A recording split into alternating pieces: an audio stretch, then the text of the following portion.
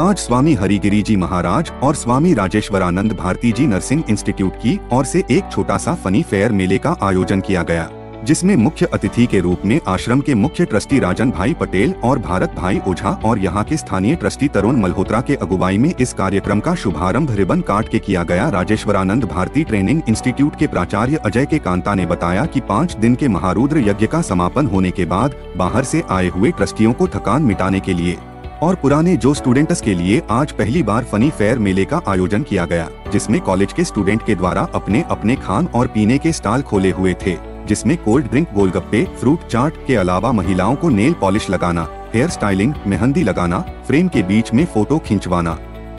बोल के द्वारा गिलास को गिराना रिंग डालने के अलावा के अन्य प्रकार का स्टॉल गए, जिसमें बाहर से आए हुए क्यों और वक्त लोगों ने इस कार्यक्रम बहुत ही आनंद लिया। आर बी नर्सिंग स्कूल के प्रधानाचार्य के कांता कुमार जी खरिया उनसे पूछना चाहते हैं, जो मैम आज जो हरी गिरी आसाम में जो कार्यक्रम रखा गया है, उसके बारे में क्या कहना चाहोगे?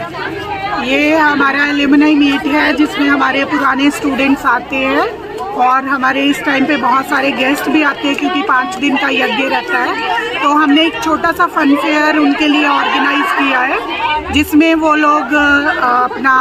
नेल आर्ट करवा सकते हैं, गोल गप्पे का स्टॉल एंजॉय कर सकते हैं। उसके अलावा हेयर स्टाइल है सॉन्ग डेडिकेशन है, उसके साथ साथ मेहंदी कंपटीशन है और बहुत सारे चीज़ें हैं जिसमें वो पार्टिसिपेट कर सकते हैं। बहुत सारी गेम्स हमने रखी है।